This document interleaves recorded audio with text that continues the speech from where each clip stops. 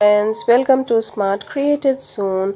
Today we are preparing fried spicy baby potatoes.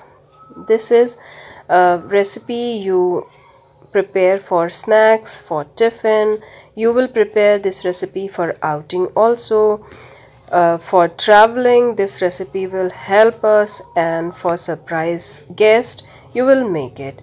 So we need things are boiled peeled baby potatoes we need coriander leaves for garnishing. Spices we need are chaat masala powder red chili powder black salt regular white salt uh, cumin powder coriander powder and fennel powder.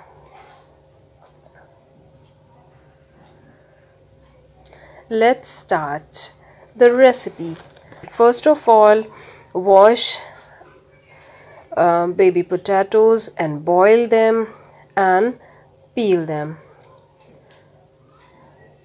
Now take a pan or a wok and put 2 tablespoons of oil. You can take refined oil as I am taking it. Now heat the oil and put all the peeled potatoes into the oil. We only shallow fry the potatoes. We only want a crispy layer all over the potatoes. Do not use any spatula.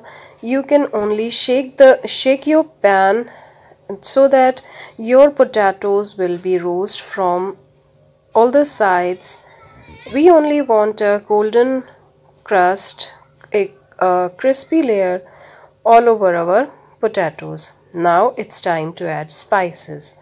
We add all the spices like cumin powder chaat masala powder fennel powder red chili powder coriander powder black uh, salt regular white salt.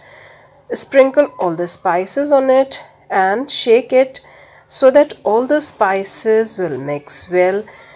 Will coat the potatoes. All the spices will coat the potatoes as well as the uh, saute with the potatoes. Mix well all the spices.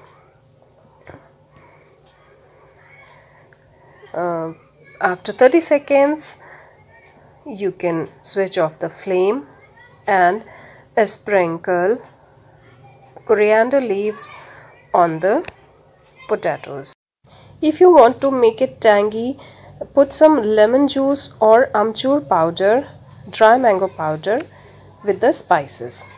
Coriander leaves give a freshness to the dish.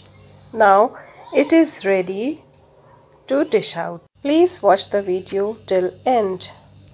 Take it in a plate and sprinkle green coriander leaves and enjoy it. You can also sprinkle some uh, turmeric and jaggery sauce over it but I don't prefer. Uh, you can also sprinkle some lemon juice on it. I like it as it is. Thanks for watching. Bye-bye.